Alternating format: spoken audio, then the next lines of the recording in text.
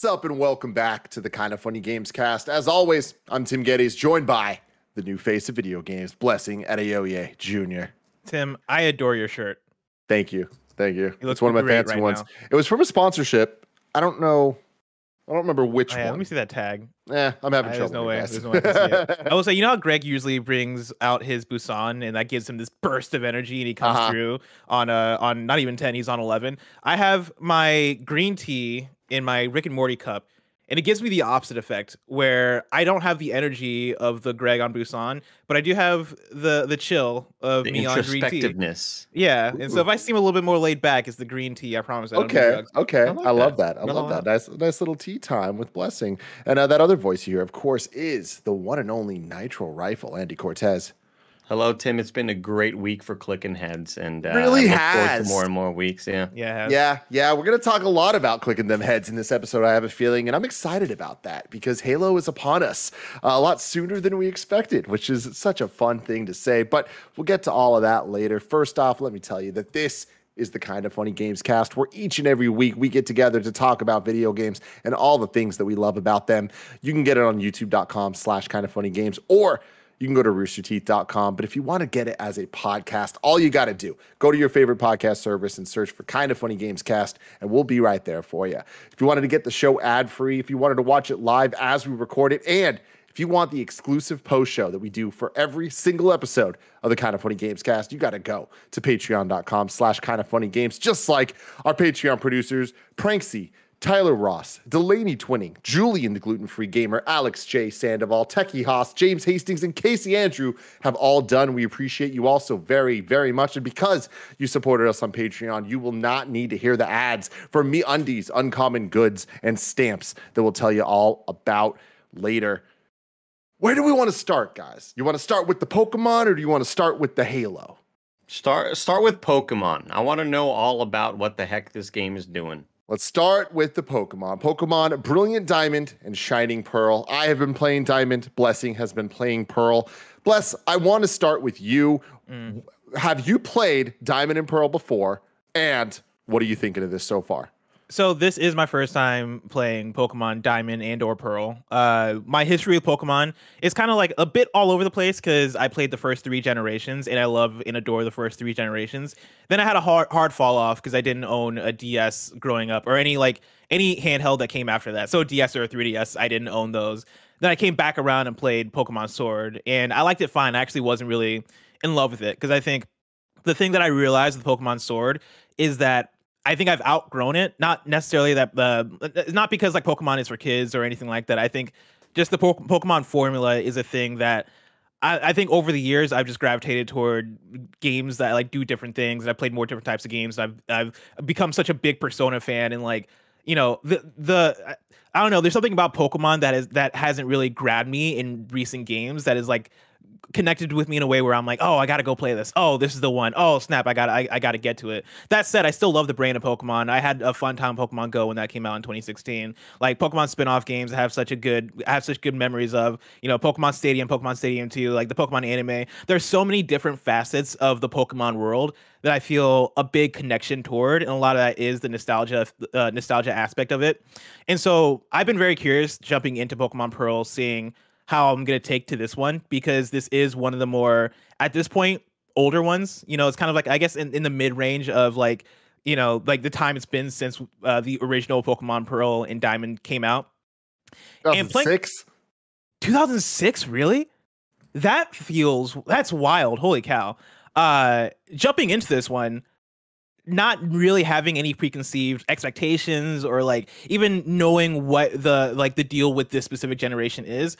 I am halfway through the game. I have four out of the badges, and I've probably put in about eight hours so far. And so these are only like half halfway impressions. I'm pretty bored with it so far. Like it's it's it's Pokemon, which is I think the thing that people come and expect this game to be, right? I think Pokemon has that solidified formula that like you go in, you know you're gonna catch the Pokemon, you know you're gonna defeat the gym leaders, you know that like if depending on what kind of player you are, you might be going after like I want to catch my favorite shinies, or I want to like I want to catch them all, or I want to like grind and like level up my all my Pokemon. I think Pokemon speaks to a lot of different people in a lot of different ways in terms of how they want to approach it and come to it. For me, I just like to go in, you know, complete the campaign or complete the story, catch as many as I can, and then be done with it, and I move on to the next game. And so far, halfway through it, I think the thing I'm realizing with this po- with this Pokemon is that the Pokemon formula is so like it's so standardized and so fixed in that if you told me I had played this game before, I would have believed you. Just just based off of like the, you know, going into jumping into the world for the first time, going into the first like route, like route 1 or whatever it is in this game. The first thing you run into is like a bird that is basically a Pidgey. Oh, cool, I'm going to catch that. Next thing you run into is a rodent that's basically like any other early rodent. It's like, oh, cool, I'm, I'm gonna catch that, like a normal type Pokemon. And then like I go into a cave, uh, it's a Geodude. Okay, sweet. I'm gonna catch that too. Oh, it's an Onix. Oh, the first gym leader is Rock type. Sweet, cool. I, I I know what this is like. My Fire Pokemon isn't, isn't gonna do me great here, and it's it's such going through the motions with it that like you know I don't necessarily have anything bad to say about this game because I think as a as a video game as a, and as a Pokemon game, like it does pretty much everything it's supposed to, right? There's no, it's Pokemon at its core, and like I, if you're a Pokemon fan and you're a, Pokemon, a fan of Pokemon Diamond and Pearl, I think you're gonna like this one. But for me personally, coming into it, I guess like looking for my next Pokemon experience, looking to jump into this Pokemon game for the first time, I was hoping for something that was gonna stand out a bit more to me, and it's so far it's fine. Like I think I'm gonna go. I'm gonna finish it just for the sake of finishing it because I've made it this far, and I like playing Pokemon in general. But uh, yeah, I don't know. It's not. It's not blowing me away by any means. I do like the art style though. That is one thing I will say, and I know the art style is conflicting for a lot of people. I like the cutesy art style. That's a bit uh, like the uh, what's what is it? Link's Awakening that came out a couple years ago. It's not as good as Link's Awakening by any means, but I do like the direction of it. I think it's cute. But Tim, where were you at with it? Uh, I am. I'm actually pretty surprised that I'm right there with you for almost everything you just said, with the exception of the art style thing. Uh, but I, I'm really surprised by kind of how bored I am playing this. I have played Diamond and Pearl before. I've played all the core generations of, of Pokemon, and my favorite gen has been Gen 2, and my favorite Pokemon game ever is Heart Gold and Soul Silver, which is the Gen 4 remakes of Gen 2. Gen 4 uh, had a lot of like kind of big steps forward and advancements for the Pokemon uh, core gameplay, specifically dividing the special attacks and physical attacks into like different types of stats. Uh, and that was a really, really big thing that fundamentally changed a lot of the more kind of uh, involved elements of the combat as you go on. And also something I appreciate a lot about these games is the Gen 4 pushed the level cap up a bit. So you're not facing the Elite Four at like level 50. Like it's a little closer to the 70s. So there's a little bit more there. There's a little bit more challenge, and you're not just able to steamroll everybody uh, from the your first try without even really grinding, which I always kind of appreciated. Uh, but having said that, I think you're right that this game um, is so by the numbers of what we expect for Pokemon. And I really enjoyed Diamond and Pearl when they first came out. And like, let me, I should actually even started by saying this. If you've already made up your mind about this game, you're going to, it's going to deliver. Like, if you're like, I love Gen 4 and I'm so happy they're doing a remake, you're going to get what you're, you're, seeing here, and it is the game. There's some things that are changed. Um, I know that a lot of people are going to be upset about the the way experience share works. Like, there are modern elements of Pokemon that are put into this. Uh, go for it, bless. Yeah, I, well, I, am actually glad I have you here uh, as somebody who's played the original because I've I've had a lot of questions in terms of what's different from this one versus the original, and like, can you give, can you give me like a quick like, hey, this this this and this is, are, are are new? Like, is experience share a thing that's always been there? No, not. I mean, experience share in the older Pokemon games was like an item you got pretty later on that you yeah. could equip, and then it would share it across your team. But in the more modern Pokemon games, it's kind of just your entire team gets points, and that really kind of divides a lot of people's thoughts on these games. I personally am a fan of it, and I think that it kind of helps kind of speed things up because that's a big problem I have with this game. Is the first bit of it, I would say I'm a little behind you. I'm, I'm about to get to the the fourth gym, uh, but like that whole half of the game it's slow and it's kind of boring and it's not like the most interesting um, kind of environments. And there's not the most interesting pokemon you're seeing. And what you're saying about it being kind of formulaic pokemon of the type of pokemon you're seeing the type of environments you're in the type of gym leaders you're facing like again it's a remake of an old game. So i already knew this going in that gen 4 wasn't necessarily my my favorite in the the sinnoh region at least. Um, but i think the the biggest problem is for every advancement this game did that like kind of helps speed up the gameplay and stuff you got the running boots or running shoes which were in the original too but it feels a little faster. I still would have liked it even faster uh, than it is in this. And um, the big thing for me is the level of customization of the the buttons. It's like guys just like allow me to do whatever I want with button customization and, and mapping because what I've really liked about Diamond and Pearl uh, back on the DS was you can use the shoulder buttons to act as the A button. So you could play mm-hmm. the game one handed, which was always really, really nice uh, for that thing, especially for this type of grindy RPG where you could kind of multitask if you want or just the ability to play it one hand is always very nice. This game lets you do that, but only with the left hand.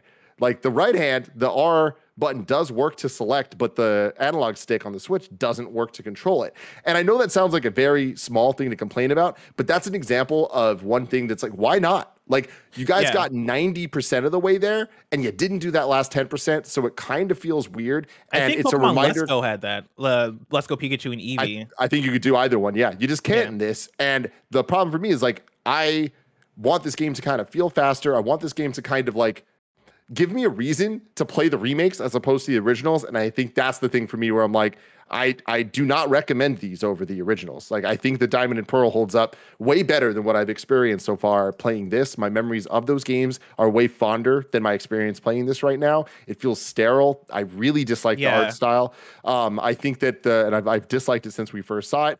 And if you disagree, cool, it's for you. This is not for me. Um, I you bring up the Link's Awakening, and it's like, no, it's not Link's Awakening. Link's Awakening was fantastically designed, didn't run well, but looks fantastic. This doesn't. It doesn't really have its own identity. It's kind of just, hey, here's some chibi Pokemon stuff. And on top of that, they don't even fully commit to it. And the battle scenes look, they look totally different uh, in these kind of empty looking environments that aren't really interesting and don't really yeah. feel like they're the part battle, of the world. The battle we're scenes that we have seen in like, I want to say the last like four generations of Pokemon at this point, Tim.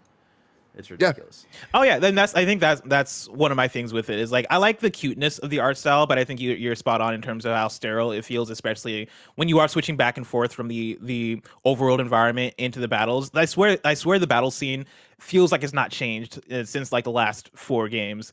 Uh, at least like since I've jumped in, since Let's Go Pikachu, I feel like they've all been relatively the same. And like it's a fine battle scene. And like I think they have a lot of good uh like accessibility stuff there in terms of ease of like player friendly ease of use. Cool, press X to throw the Pokeball, shit like that. That makes things go quicker and easier. But yeah, when I'm running through the overworld, uh, there there is a level of yeah, like the I think there's just a level of like of personality that's missing that makes personality, this, man. This game feel like it uh it stands out from the other ones where it is it's it's it's cute and that's kind of that's kind of what it is uh and like I, I, there are some formulaic things too that i think they've introduced within the last few generations that they seem to lump into this one as well one of the things i remember playing pokemon let's go and they do the thing where as you're making your way through the game they'll introduce you to the elite four in ways that they didn't have in the original game where you'll just run into uh like lance and he's just there and he talks to you Lorelei. for like two, yeah, Lorelei, they'll talk to you for one or two pieces of dialogue and they'll help you out and then they peace out or whatever. And like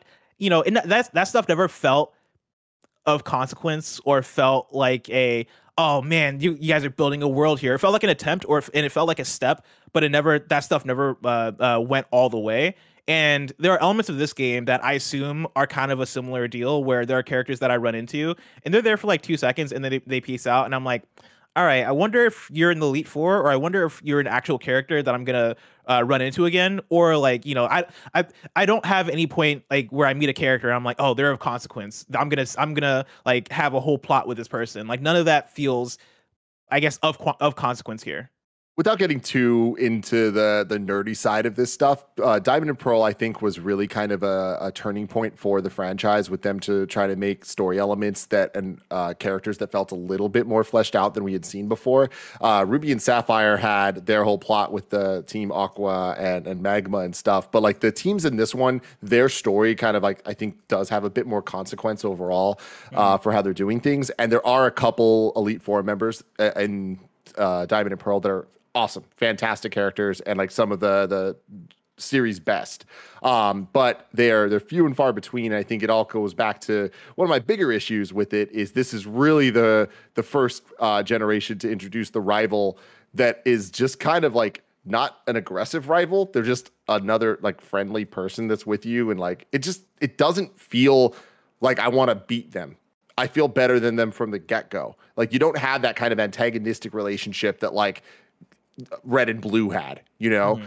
And I think that that's just kind of like something that I like a lot from Pokemon games. So when this this is uh, one of the first ones, and Ruby and Sapphire had this problem a little bit as well, um, but Ruby and Sapphire, I thought were a little more interesting from the onset in terms of locations and what you're doing, and it, it felt like a lot more um, new Pokemon we're seeing. Whereas this kind of it just goes back to being a little formulaic, and um, in terms of the visuals, like not just the art style, but uh, there's decisions made where like the edges of the screen are oftentimes like blurred a little yes. bit. Yeah, and it doesn't look good, like just at all. Either and and that's upsetting. But then every once in a while, there's like a moment where I'm like, oh, okay, like you had something here. Like you'll be in a, a, patch of grass and like you'll see the shadow of a cloud that's above you. You never see the cloud, but you just see the shadow kind of moving over you. And I'm like, all right, like it's not like there was no effort put into this. Like, but that also just kind of makes the stuff that's like, ah, that doesn't look great kind of stand out a bit more. And like, it just sucks that this game kind of has the vibe of like a fan made game which a fan made game in like 2012, which is like, okay, cool. You use Unity to, to make some stuff and that's cool. But nowadays we get fan made games that look utterly incredible. And this isn't that. You know, this is just kind of like it feels stuck in time a bit. And I'm I'm not gonna be uh completing this one. I, I'm wow. I'm gonna give up on it. Yeah, I, it's just there's something about it, man. It lacks the personality to to make me want to keep going, and it it it just isn't isn't too great. But I will say it uh, is fantastic on the OLED, very colorful, and the the lines look sharp as hell. Like it's there's nothing offensively bad about it. And like you were saying earlier, Bless, yeah. like even the art style, it's not bad. It's just not exciting, and that's kind of the end of it. Andy, what's up? Tim, did you finish Sword or Shield? Yes. How would you compare the experience overall? To this because I'm coming from this from a perspective of not having ever played the original and not having access to the original in in a realistic way where you know yeah, if yeah. I wanted to play the original I'd have to get a new handheld and I'd have to eBay some stuff most likely. Um, the reason why I've been interested in this is I didn't really think I'd cared about Pokemon until Sword and Shield came back and I was or, or came around and I played that on Switch and a lot of it was playing that on a big screen that I kind of cared about, and I'm not. I'm rarely the handheld type of gamer, um, and so I liked just being able to sit down and experience that on a big screen. The same with uh, Let's Go Eevee and Let's Go Pikachu. Like I beat those as well, and I had a lot of fun with those. I don't really play Pokemon games for the story or the characters. I feel like I'm rarely blown away by wow, this character arc is pretty fantastic. It seems like though I still might enjoy this because it is kind of a base level Pokemon Dude, game. No, this is gonna give you Pokemon, Pokemon game, man. Like this is gonna give you a Pokemon fix, fix, You're gonna get the fix from this. Like there is okay. a quality game here, man. Like Diamond and Pearl are good games. It's just eh, they kind especially these being remakes it just feels like we've gotten this a hundred times because sure. we've gotten this a hundred times so it's like i feel think that's the reason that like to me it especially doesn't feel that like special. Like even if they were to remake Black and White, I think that'd be a lot more interesting in, in uh, with this type of engine, uh, just because of what those games actually were. But like playing this, it just does kind of feel like, all right, I've been here before, and I preferred how it looks before. So that's kind of the biggest mm. thing for me. That's Your mileage may vary on that. So if you like this art style, hey, it's it's here for you, and like this game exists. But yeah. I any day would rather play the original Diamond Pearl over this. I also, I also think with the Pokemon Sword and Shield comparison, I had a lot of similar complaints with Pokemon Sword and Shield in terms of the formula of it and feeling like, oh yeah, Pokemon is just Pokemon. The thing I will say about Pokemon Sword and Shield is that I think that game goes far enough in a lot of its gimmicks like the stadium setting like the like the build up of like you walk in through like the stadium and you see the dude the pokemon ball head dude and you like talk to him and all this shit i think there's enough there in terms of what it brings to kind of try to expand the world, even though none of it is like super amazing or yeah. none of it feels like it pushes the bar. the open no- world sections too. Yeah, it, yeah, it the open world sections. It, it, it, was different, slightly different in like personality and presentation. Like it really tried to hone in on the presentation of things. Yeah, I think there's enough there to at least for me when I was playing it, I was like, oh yeah, I'm for sure gonna finish this because at the very least, I'm I'm there are exciting new things here that I want to see and I and I want to see through. playing Pokemon uh, uh, Shining Pearl for the first time, I uh, it feels like I'm regressing in a way where I'm like, cool, this it is going to give you your Pokemon fix, and I'm getting my Pokemon fix off of this. But I think we've gotten so much Pokemon within the last three or four years mm-hmm. that this just does not feel special to me. I'm halfway through this game, and I'm like, I played this game a billion times at this point, and like, there's nothing about it that is separating it out from any other Pokemon. It almost feels like I'm playing Pokemon the game at this point, right? like nothing about it feels fresh and new. Granted, it's a remake, but I don't know. I was looking for something, at least anything to like bring me any kind of oh this is like this this is this generation's thing right and i know there's like the pokemon uh like fa- not fashion show but like the pokemon show stuff where you can decorate your pokeball and like do dances yep. and shit that doesn't speak to me. And so like i did that once and i was like nah i'm good. I'm good on this. Um but uh yeah like i'm not really getting anything special. That sucks to hear it. like uh especially because andy i'm like you where it's just like when a pokemon game comes out it's like cool. I'm i'm down for this like basic jrpg mindless uh collecting collecting some pocket monsters and and chilling out. And like uh, what you uh tim and bless are saying it's like yeah like the like I would go into this game being like totally cool, whatever. But like right now, I'm also uh, playing Persona 4 Golden. Like I'm going back to that and like trying to actually complete it, and that is like a, a much more interesting like collect monsters with like fully fleshed out story. So like, like I'm scared I'm gonna go into this and like play an hour and be like, well, it's not Persona 4, and then just like yeah. completely ignore it. So it, it, it, sucks to hear that it, it's not bringing uh, the heat in uh, this generation. Yeah. yeah. I think it's a good it's a, it's a good excuse to play a classic Pokemon game, you know. And I think I'm gonna I'm gonna finish it because this is my first time playing Pearl, and I, I like it as an excuse to be like, cool, I finally I finally played this generation. And when they put out a remake of the next one or of Black and White or of X and Y, I'll play those so I can like have that I guess like back knowledge filled or like get mm-hmm. that get that experience of playing those games that I missed. But, There's a lot there for you, Bless. Like I, I again, yeah. I, I want to say Gen Four is a good Gen of Pokemon for sure. And like there are moments, and especially the Elite Four, very cool stuff. Uh, and some of the end game stuff's really interesting as well. But yeah, I just think that this this remake doesn't necessarily do it too much justice.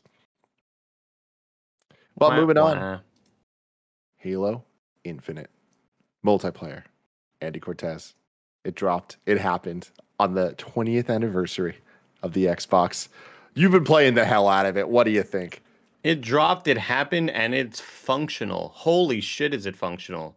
Now, granted, you know, people get kicked out every once in a while. What game doesn't kick you out of stuff? Um, but for it to work this well mm-hmm. on the launch day where uh, how many were playing concurrently? 220 something thousand on yeah, Steam. Somewhere, somewhere around that. And that's just um, Steam numbers. 272. Just Steam numbers, okay. which is yeah. absolutely wild.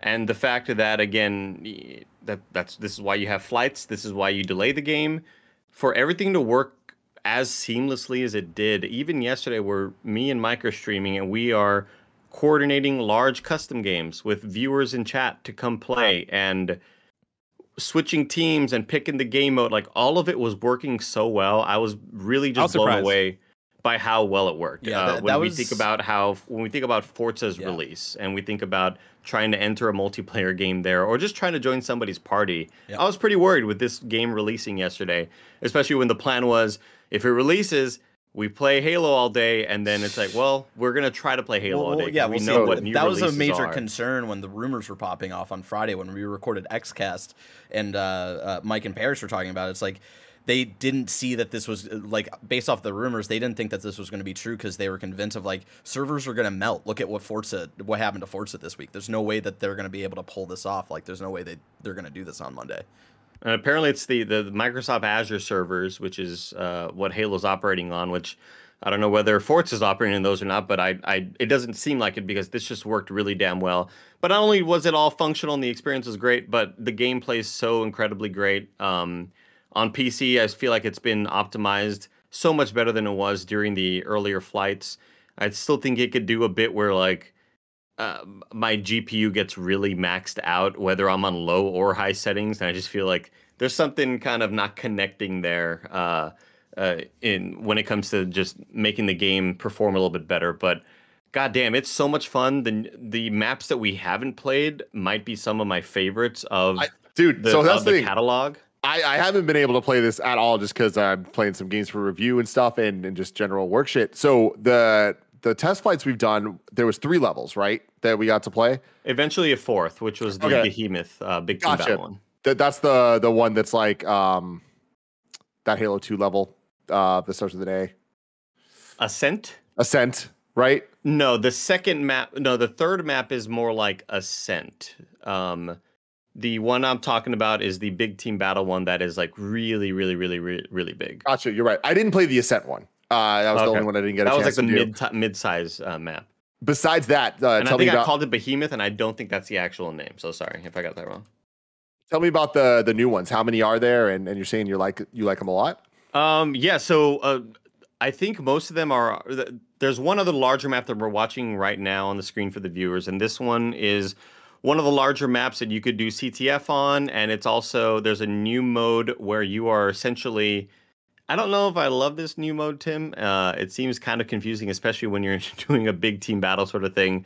What it is is there are canisters to collect around the world, and you have to collect five of them and bring them back to your base. And once you collect five, bam, that's a point. And I think it's like first to three. Um, I didn't necessarily love the gameplay and, and feel of this mode. I'm not sure if it was maybe there's too many people playing. It just didn't really feel like there was a whole lot of synchronicity between the whole Mhm. squad.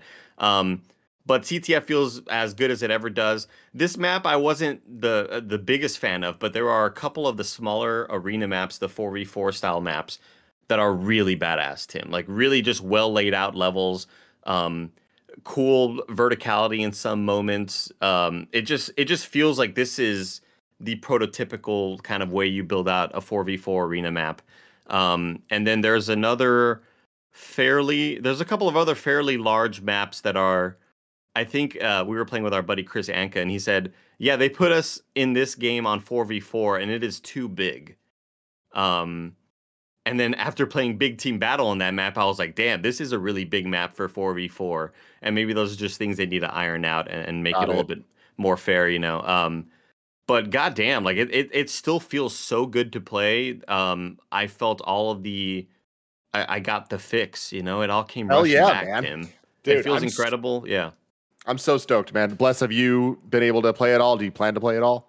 Oh yeah, I was playing a whole lot yesterday. I was playing with uh, Andy and Mike a bit on their stream as they were doing big team battle, and then before that and after that, I was playing a lot of the four v four modes, and I've been having a blast with it. I'm surprised by how much I'm already like craving it and wanting to go back. And even today, as I've been working, there have been multiple times where I'm like, how much time do I have before the next thing? Do I have like 15 minutes? Gonna do a quick match of Halo? Uh, and like I'm not, I've not been able to get back into it today, but I can't wait to get back into it. And I think that's where I'm, that's where I'm at with it. Um, you know, like I've been, I've been enjoying the 4v4 modes more than the the big team battle stuff. I think the big team battle I might need to work my way up to or it might just not be, be for me. I think there's I, I there there's less of an ownership of like what's going on and like I like the idea of with 4v4 I have an actual impact on this match. Like the, the if I don't perform then we are losing and I kind of I kind of like that element of the the 4v4 and so like I've been really enjoying that. I like the the actual game feel. Like historically, Halo has just not been my thing, and like I gravitate, I've gra- gravitated towards other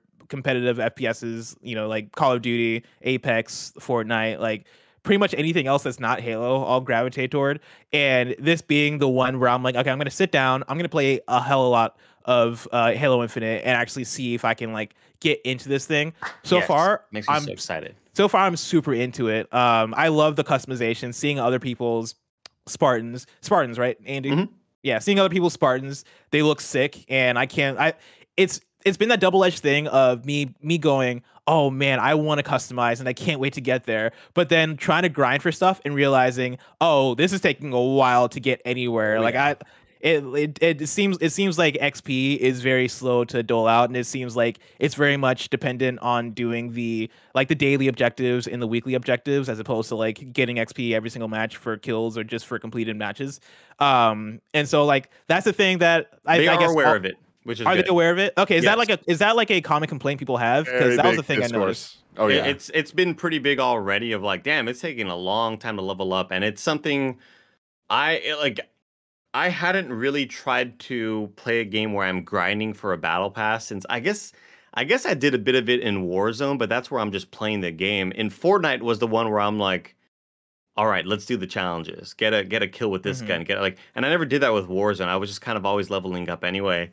Um, but I didn't really notice those issues because I'm just my brain hasn't been trained in that way. So when I open up Halo and I see the challenges, get a kill using this weapon, I'm like, I just kind of ignore all that. I just play the game, Mm. and then seeing That's all that too. pop up, I go, oh, you know what? I haven't really been even noticing the XP gains, and a lot of people aren't happy about it, and they're saying it's uh, definitely really, really slow. And Halo, uh, a lot of the people at Halo already kind of mentioned like, yeah, we're we're we're gonna look into it. Okay, That's thank uh, God. Because yeah, like as somebody who great. plays, as somebody who plays like a lot of Apex, that's a thing that whenever I'll I'll do them sometimes if there are challenges that suit me. Like if it is play two games as Loba, well I was gonna play as Loba anyways, so I'm gonna do Yeah. that. Or like you know get a few kills using the R301. It's like cool, I'll I'll do that. Um, but for the most part, if there's anything that is anywhere near the outside of my like purview, then I'm like, cool, I'm not gonna do that because I'm I'm I just want to play the game to play the game, right? I just want to play the game to try and get the wins. And oftentimes I just see those dailies and those weeklies as distractions if they are going too far in terms of the way that I want to play. And so I like I like having the option of ignoring that stuff and still leveling up my battle pass or my general XP. Uh, and so yeah, I'm glad that it seems like they're at, le- at the very least aware of it, and I hope they I hope they pivot uh, with it in a way that like satisfies everyone. Um, but Andy, go for it. I just want to say, and I want to apologize for just seeming so incredibly unprepared when Tim asked me what my favorite maps are, and I'm like, oh shit, I should have like come up with a list of them. Um, but the newer maps that they added, Aquarius uh, is fantastic. That's one of the ones that I loved. We played one of our first competitive modes where you can actually go into competitive and get ranked after a certain amount of games. And we played competitive, and it was CTF, and it was it was one of those games, Tim, where we Hell are yeah. yelling and it is intense as hell, and we go to overtime and we're just hoping to tie because this team is really damn good. And we ended up getting the final capture for sudden death. And we're just like, that's our final game of, of competitive. I never wanted to, that was way too sweaty. I never want to do that again. So Aquarius is fantastic. That's one of the close quarters maps, along with Streets, which is the map that IGN had the exclusive on. Streets is also super well laid out. It's really visually and aesthetically uh, good looking as well. Um, the larger maps, the one that you hadn't played was Behemoth. That was the Okay.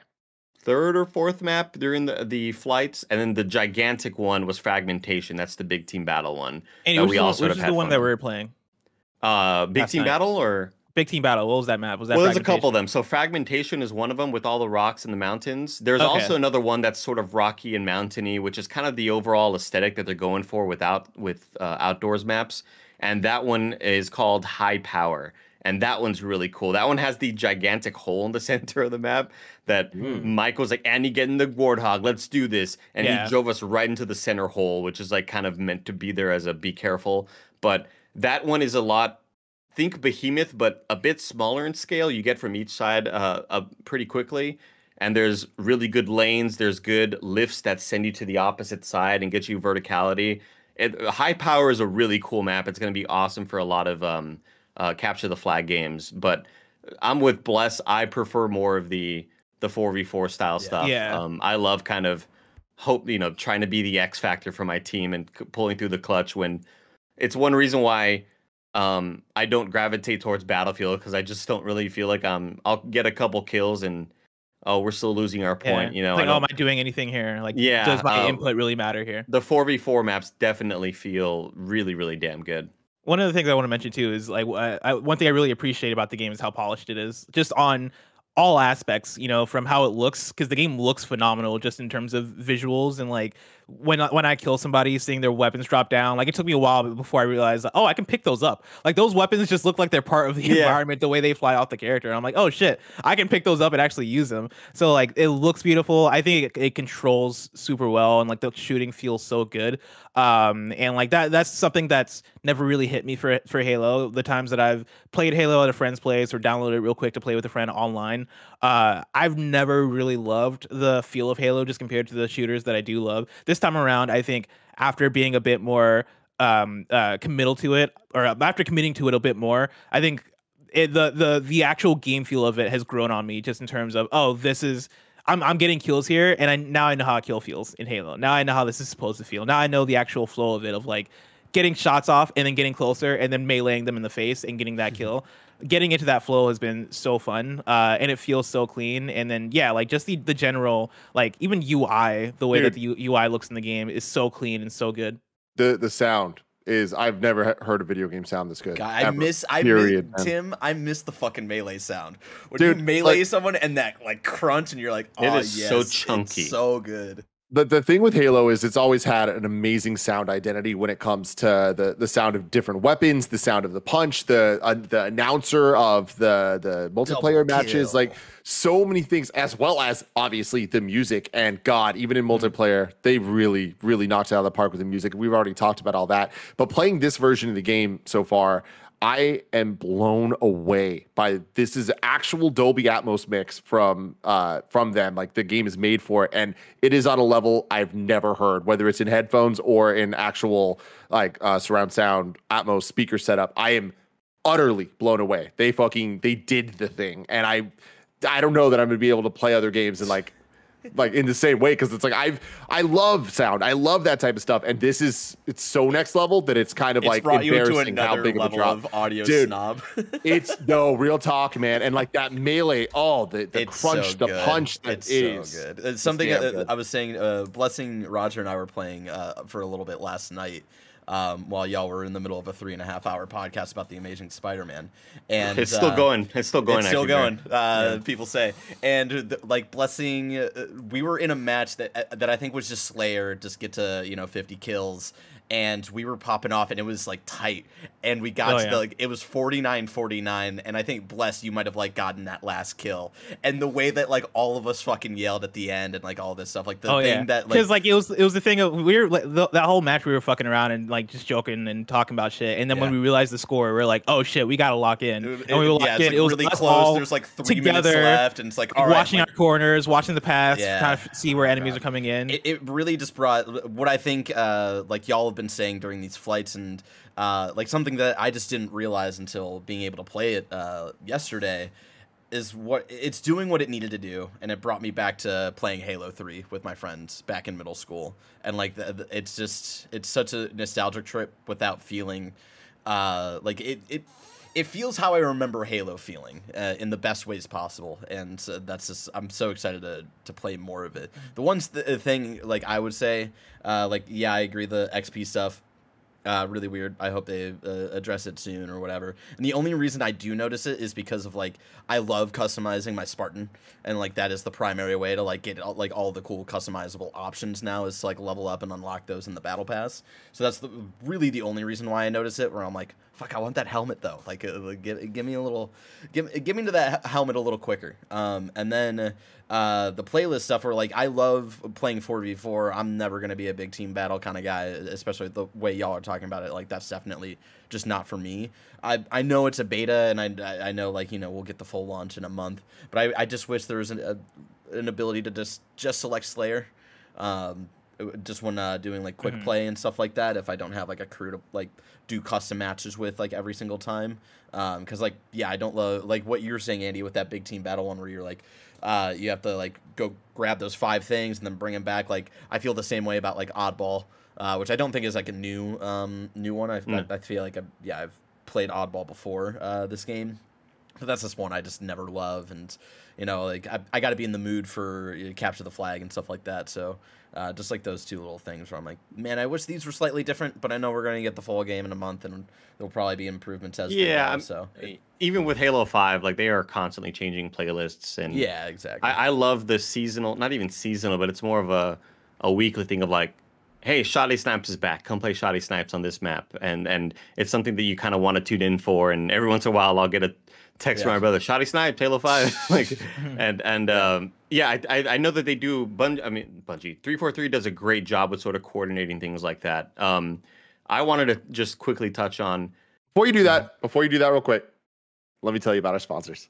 This episode is brought to you by DraftKings. What an NFL season it's been so far, or so Andy tells me. And it's only getting better. Get in on all the action still to come with DraftKings, the official daily fantasy partner of the NFL. This week, new customers can play free for millions with their first deposit. Don't miss your shot to get some skin in the game. Playing daily fantasy football is simple. Just pick your lineup of NFL stars while staying under the salary cap and score enough points to bring home cash. And with a free shot at millions of dollars in total prizes, you'll feel the NFL action like never before. DraftKings is safe, secure, and reliable. Best of all, you can deposit and withdraw your cash whenever you want. Download the DraftKings app now and use promo code Kinda Funny to play free for millions. That's right, enter promo code Kinda Funny to get a free shot at millions in total prizes with your first deposit. Do not miss out. Download DraftKings and play with the official daily fantasy partner of the NFL. Minimum $5 deposit required. Eligibility restrictions apply. See DraftKings.com for details. Next up, shout out to Fitbod. Don't get stuck in your workout routine. That's why Fitbod creates a fitness program that adapts to you based on your unique body, experience, and environment with new exercises and dynamic intensity. So you're always challenged, but always at your own pace. Uh, Gia's been using this and it's been super fun for her to kind of like not do the same old thing, but kind of to always have something new to look forward to when she is working out and getting in shape, which she loves to do. Their algorithm uses data and analytics to help you build on your last workout. Fitbod workouts are balanced to avoid overworking muscles with varied exercises to keep you sharp. So whether you're exercising three days a week or twice a day, every workout is scientifically proven to be better than the last. Fitbod is only $12.99 a month or $79.99 a year, and you'll get 25% off your membership with our link. Pick up the pace on your fitness journey with Fitbod today, and your future self will thank you. You can get 25% off your membership at fitbod.me slash kfgames. That's 25% off at fitbod.me slash kfgames. F-I-T-B-O-D dot M-E slash kf games. And finally, shout out to Native. We here at Kinda Funny love the smells of the holiday season, and now you can smell like the holidays because we're talking about deodorant, baby. Native deodorants are formulated with ingredients you actually know, like coconut oil and shea butter. Plus, they don't use stuff like aluminum, parabens, or sulfates. Ew, yucky. And with their classic scents and rotating seasonals, they have plenty of choices, even candy cane, fresh mistletoe, sugar cookie. Uh, you know, G, she likes sticking with the classic, but I can attest to this. She smells fantastic day in and day out, and that's thanks to Native. Native is also good for the planet. They offer a deodorant in 100% recyclable material, plus they're vegan and never tested on animals. Keep the scents of the season with you with Native's limited time holiday scented deodorants. Go to nativedeodorant.com and use code KFGames to get 20% off your first purchase at checkout. That's nativedeodorant.com, code KFGames for 20% off. Nativedeodorant.com, code KFGames. And now we're back, Andy. Go for it. Halo, what's up? I just wanted to quickly touch on the polish that the overall release uh, uh, sort of presents itself with, because the during the flights, even looking at the viewport, you know, you're looking at your Spartan standing there, and there was always something broken with it, and you just sort of expect things to be broken. So when the game launches and suddenly I can see how many assists I have and then the Spartan that I'm looking at, which is mine, that I can turn around, suddenly isn't in 640p. Um, because that was happening a lot during the flights where the UI is super crisp, everything looks great, but everything in the background looks very, very low, uh, low quality. It's just like they're running a lower resolution for whatever reason. And to see how crisp everything looks at its like full power, and now we're ready to go. And here's Halo Infinite season one dropping three weeks early or four weeks, however much it is. It it just feels it feels surreal to have that Yeah. moment yesterday. I didn't. There was a lot of leaks pointing towards it, and I still didn't think it was going to happen. And it, it's here, and it kind of just changed what the next month of mine looks like. Yeah, dude. I mean, so that's the question I have for you, Andy. Is you know, obviously it's super, super, super early with this, but you're saying the next month of yours. Do, where do you see the Halo kind of craze ending? Obviously, we're in the the spike of it right now, but do you think that in March you guys are going to still going to be playing? I think I think so only because it comes down to 343 adding new modes.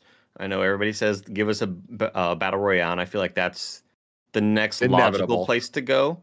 Um but I enjoy the feel of this so much and I feel like I'm pretty decent at it and I normally gravitate towards games I feel decent at and it's the same thing with Warzone where I played that for over a year and uh, I will still hop into Overwatch every once in a while because that's still a game that I play. You know, I think this has become a regular multiplayer game for me.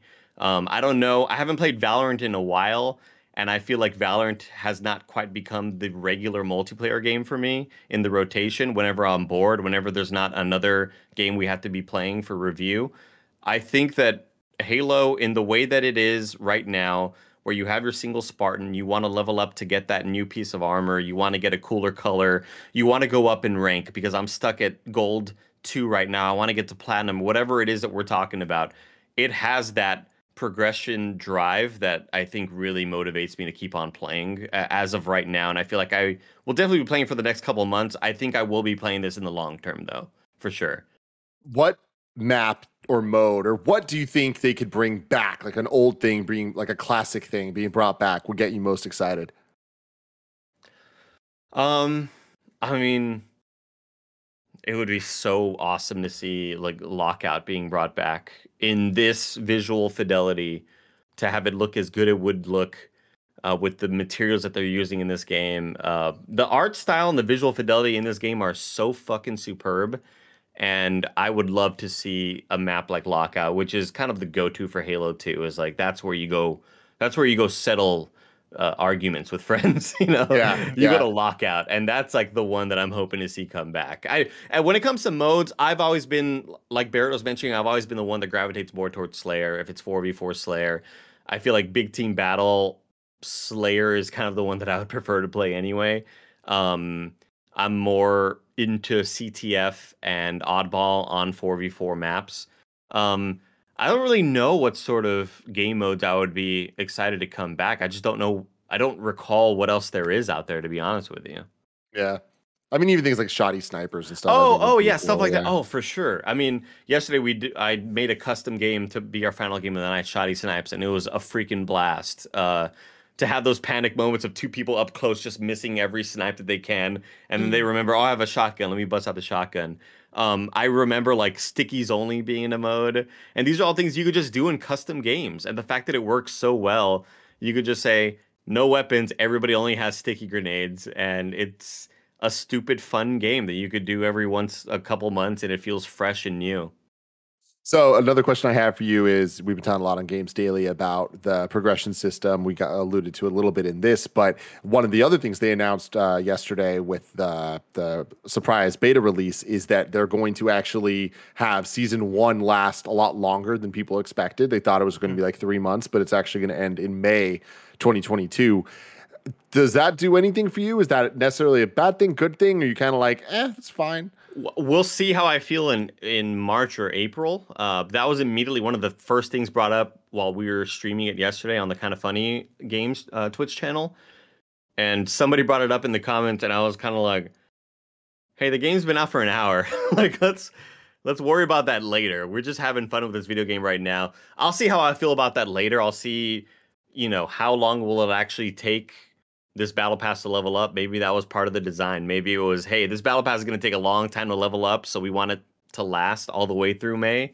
Um, I don't really know. I, I will say one thing I have worries about visually is like I'm not super keen on the samurai skin in this game, like the the samurai sort of armor looking uh thing. And I don't really know what art styles would clash well with Halo. Interesting. When it comes to Warzone, it, it. you, when it comes to Warzone and Fortnite, it, even something like Warzone, which takes itself more seriously than a game like Fortnite, which Fortnite just is just the metaverse at this point, whatever character you want. But in in a game like Warzone, it took like a day to get used to the fact that there would be John McClane running at you, um, or a skull with their head on fire and you kind of go, "Oh, that's a really weird skin of seeing this sort of like realistic, semi-realistic military shooter." And then who cares at the fun time? We're just blowing shit up. But in a game like Halo, it does feel weird, and I noticed I was gonna have an issue when I was playing Splitgate because Splitgate kind of takes a lot of its art direction and arena style stuff from Halo, and it too they have their sort of soldier looking Spartan dudes. And when they started introducing, you know, here's a uh, um, a unicorn, whatever kind of sparkly skin, and here's another thing. It just it feels kind of off, and I don't really know. Like we're not going to see a Spartan with their mask with their helmet off. I don't think in multiplayer. Like we're not going to see like a normal dude with their helmet off, and maybe it's I don't know. Uh, uh, what's his name? Marcus Phoenix from uh, Gears of War. Like that'd be a twist. That would be that would be wild as hell, right? But I don't think like we're gonna see anything that doesn't resemble a Spartan. So how really can you kind of expand the visual identity of what Halo is? How can you? Uh, I don't, I don't know. It's just weird to think about. It's weird to think about, Tim. You think that because uh, I agree with you um, that there's this style. I do think all it's going to take is like one crazy set to be out there, and then all of a sudden it's going to change the game, and it's like it could, our expectations. That could be all it takes. You know? Yeah, yeah. But do you think that the um, the AI, the voices, do you think that's going to be something that they have a lot of fun with and have a lot of like cool cameo type DLC packs for, or do you kind of see it as like, oh, maybe there'll be one or two of them, and that's the end of it? I think we will start to see things. Um, I think they're going to just take a lot of stuff from Warzone and see how they are doing. Where you buy the bundle, you get that skin, you get this AI voice, uh, and you get that emblem or whatever. I think they're taking a lot of their cues from Fortnite and Warzone with their battle pass, uh, aside from the progression speed. Um, I think so. I mean, as of right now, it is day two of Halo Infinite multiplayer the world is their oyster. They can do so many things with it. It just depends on taking the first right step. And you take a wrong step one way and you get some IP that nobody gives a shit about and it's going to get memed to all hell and it, suddenly that becomes like its own sort of topic. So like they need to like make sure they either partner with the right IP or bring on some sort of character from a game that feels familiar um, it would just be weird to me to see anything that's not a Spartan in this game. Yeah, I mean, what's interesting there is like thinking back to like Halo campaigns uh, of yore, and like you see the Marines without helmets, which I know is different than the Spartans themselves, but I feel like that'd be easy enough to translate to different outfits and stuff for the characters, you know. Well, we we even had the elites in multiplayer at one point. Um, yeah, that's right. But like that's they're part of the lore. They're part of the the world here. And when mm-hmm. I say mm-hmm. like I'm I would be surprised to see somebody with their helmet off. I mean more of like we're gonna bring in the rock. Got it. And you have to have his helmet off to show off yeah. that it's the rock. You know what I mean? Mm-hmm. Like that's sort of the stuff that's gonna I don't know how well it would clash, but you're totally right. It could just take here's one thing, oh, that's kind of weird, and you get used to it. You get, you know, after a day, who gives a shit? You're playing Halo, it's fun anyway. But they just have such a kind of visual identity right now that it's it's one thing that when I'm playing Overwatch, and I think Overwatch does it the best when it comes to cosmetics. I don't think I think they're untouchable when it comes to iterating and showing a really cool variety of different characters, sort of uh, skins, and what we can do, and how creative they can be with them, uh, and just how good they look as well.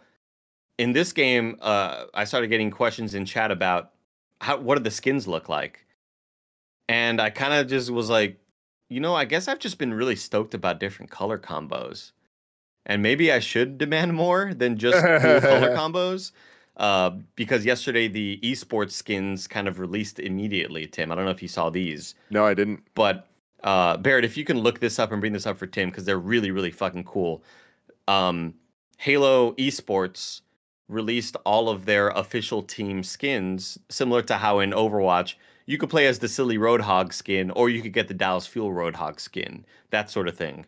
Gotcha. Um, and so all the orgs already have their official skins that they're going to be using in game. Right. Um, and they are all really fucking cool. and awesome. they look sleek as hell. They're basically team uniforms that they're going to be wearing. That's so and cool. It's really, really awesome.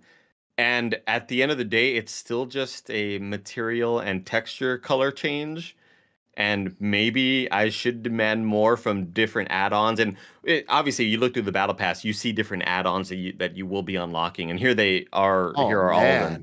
Yo, are, some of these are hot. They are so slick. I mean, the thing with the Sentinels, the third on the from the right, it the left arm is all red, and it looks so fucking hot. Damn, you just yeah, can't see it right here, cool. but The um the middle one is Envy, which is my squad, which is really neat because Envy is um they merged with Team Optic, the green team.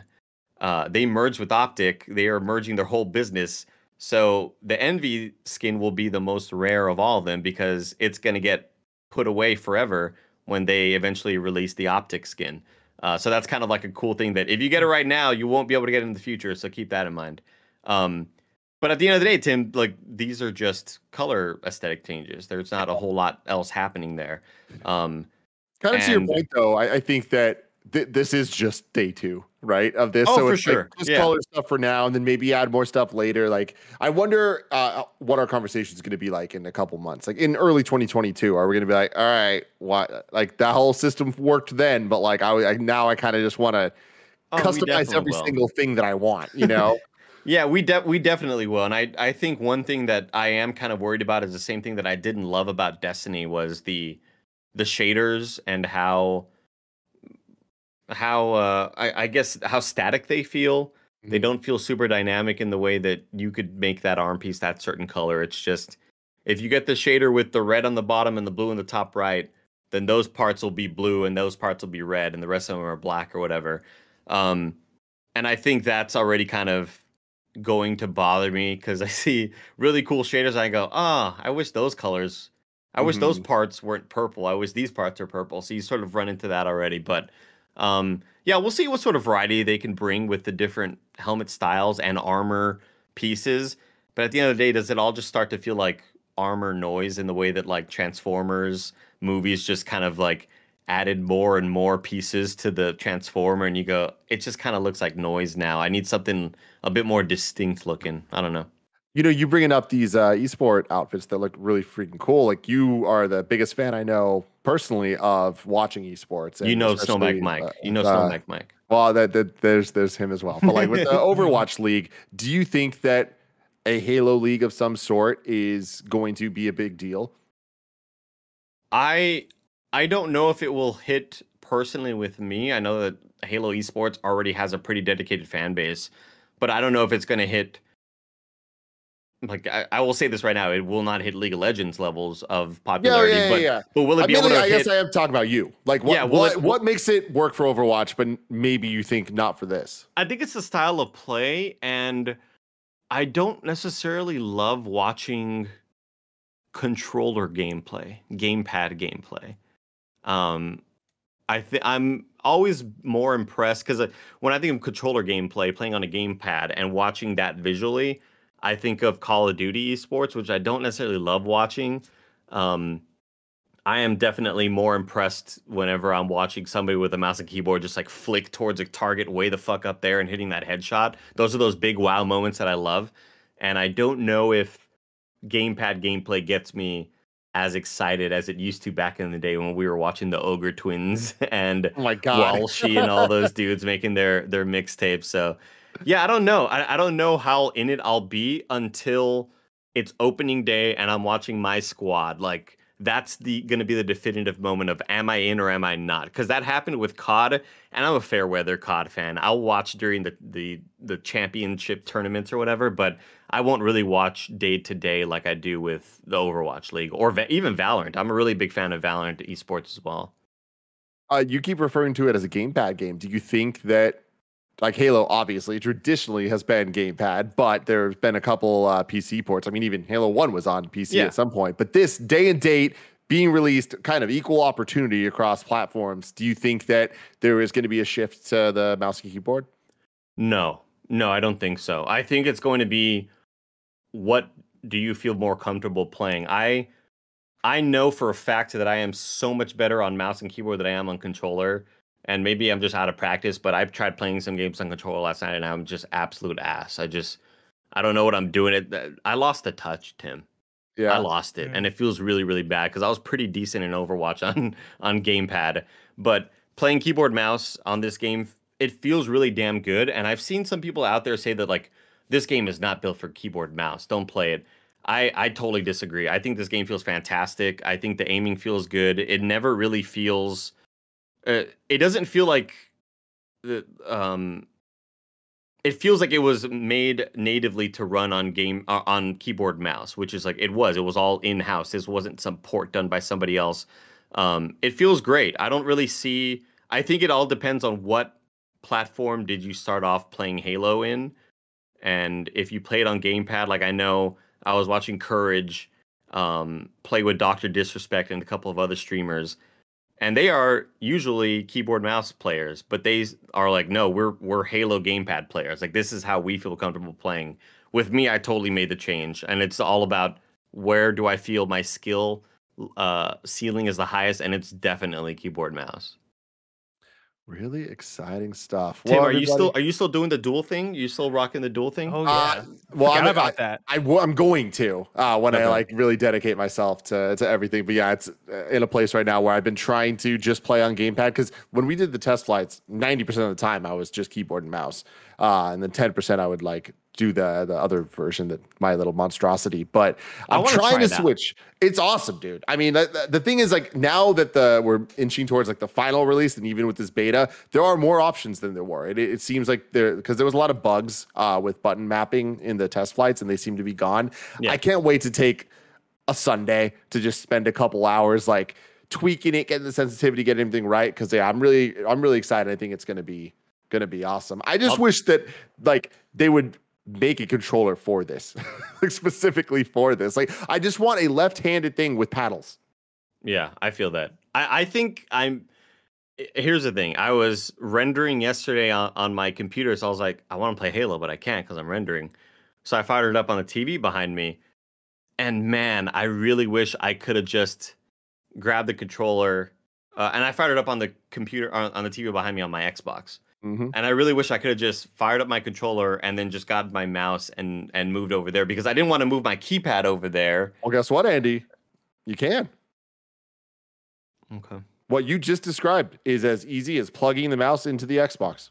That's and it, it, reads both at the same it, time. It reads both at the exact same time. Oh you go God. in and custom map. That's what I do with I my pop off like, on my TV. Crazy. Dude, yo, it's sick as hell. Yeah, that's what I for my TV setup. I'm doing the same thing, or at least trying to get the get it set up like that. And it's like I just love that the game gives you the options. If you think that we all sound crazy right now, cool, that's fine. But you have the option to do this. I, I, it's mostly I just don't have space for my keyboard, and I don't want to unplug the USB and all that shit. So th- that would definitely be an easy alternative. Bless, do you see yourself playing this for uh, like in the same amount of way that you got into Apex? I know Apex has the battle royale, and that's a different kind of itch yeah. to scratch.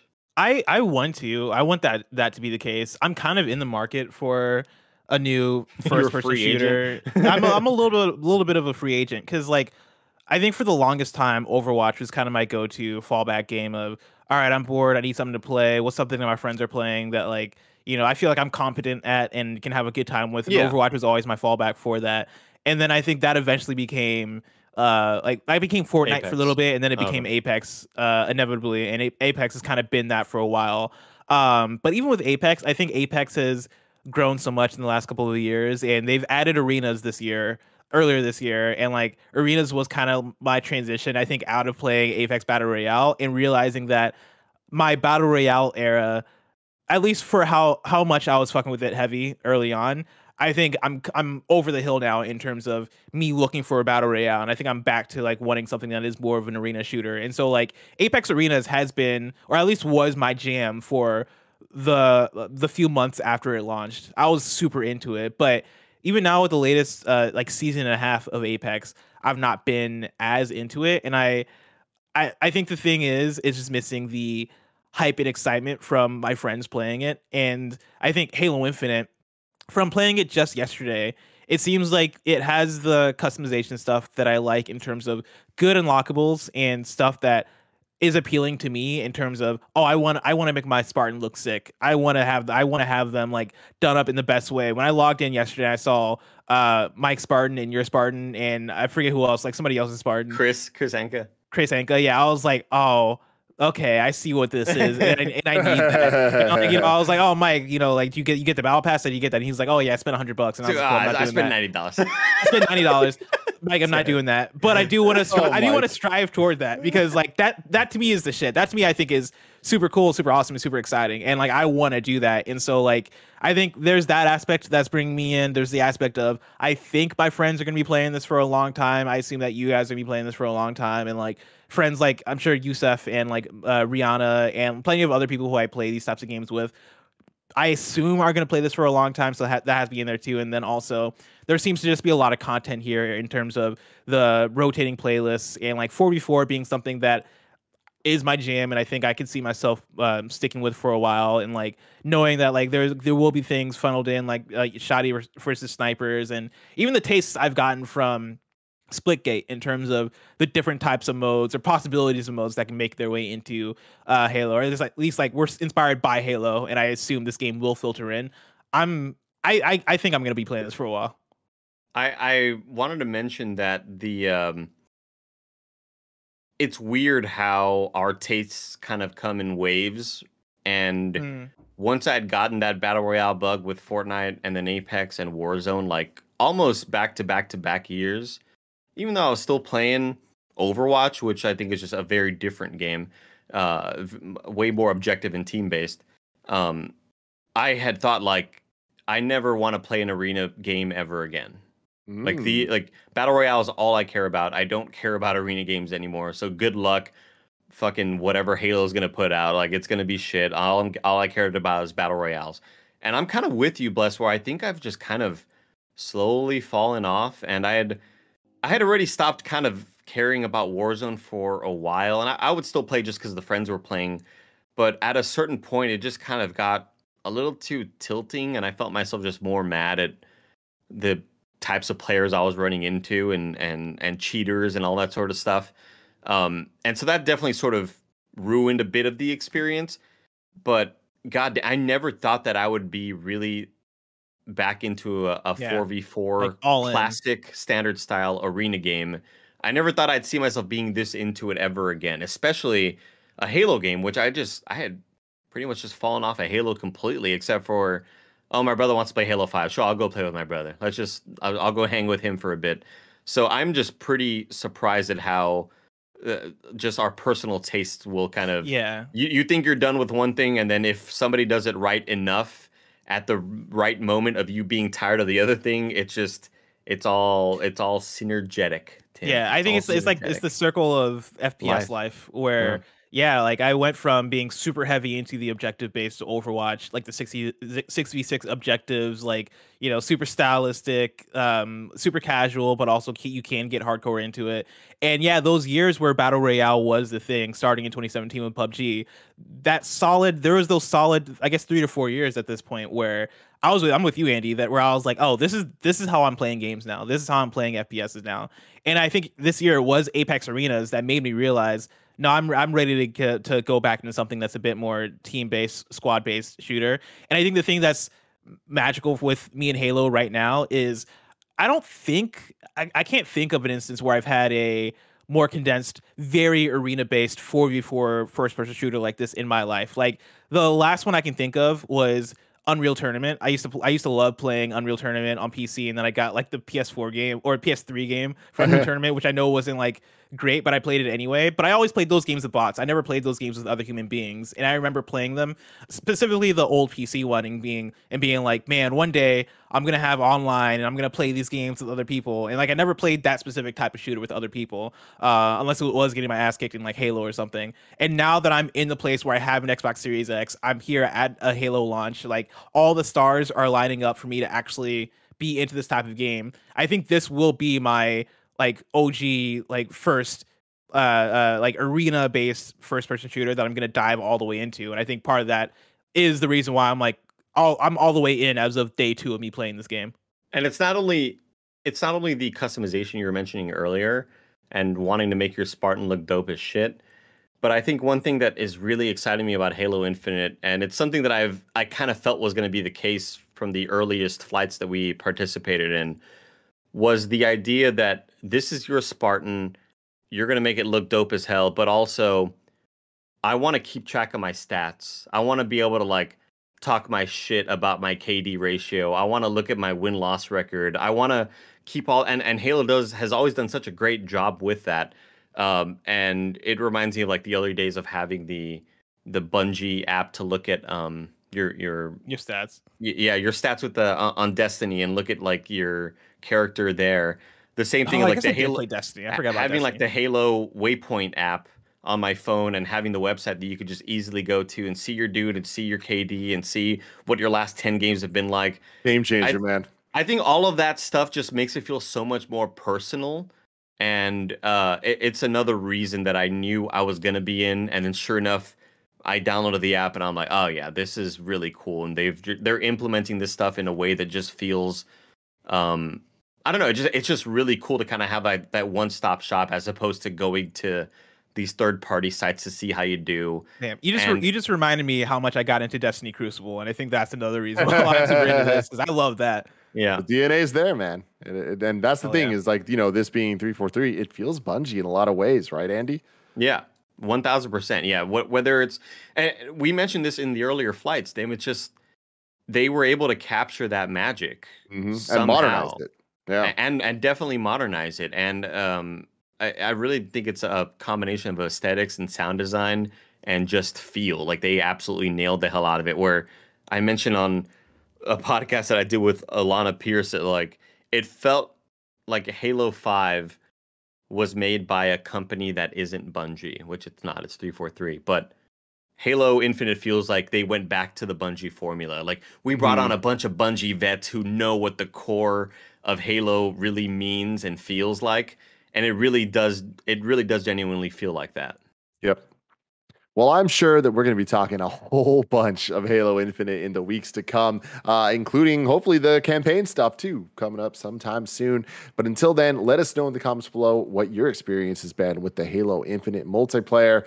And until next time, oh, reminder next week, we'll be doing our Game Awards predictions where we're going to go through every single category and predict who we think will be the big winners. Of course, we're going to be live reacting to the show as it happens. A couple of us won't be there because we'll be down there. Isn't that right, Bless? I'm so excited. Yeah, I'm gonna be down there. I'm gonna That's crash the cool. stage That's like so Kanye cool. West. The Returnal doesn't win anything. can't wait. Love it. Very, very excited for you. But until next time, love you all. Goodbye.